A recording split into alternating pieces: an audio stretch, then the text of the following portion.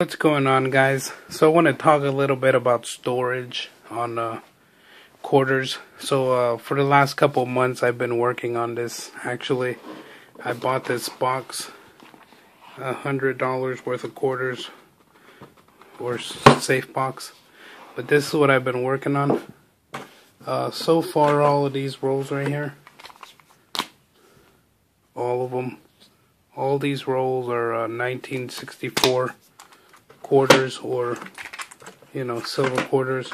So I have one two three four. Four and this one is almost complete. Four four and a half five six that one's empty. But um, from my previous video the proofs are going in here. So, so far I just need to go ahead and um, fill this one and the rest of this one and I will have completed a box of $100 face value in silver quarters.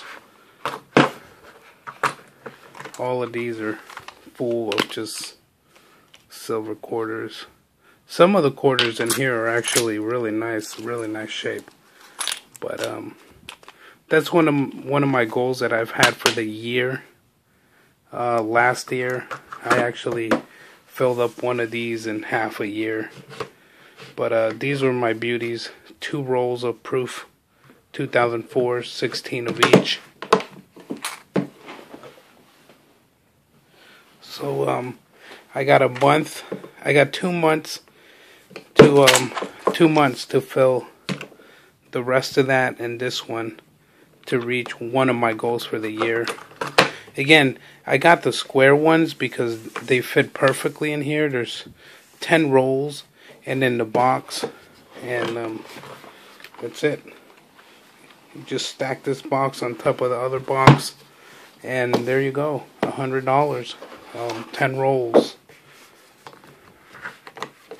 So, uh, wish me luck. I should. Actually, yeah, I'll be done here in a couple days because I ordered a couple more quarters, two rolls of quarters that I got for a really good deal. So, um, just thought I'd talk a little bit about the storage.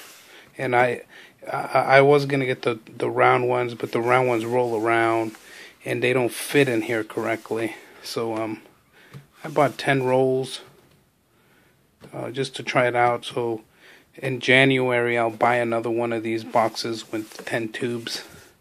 And uh, that's another goal for the year besides, you know, normal Eagles and numismatic stuff. So, well, click like, leave a comment, let me know what you guys think. Thanks.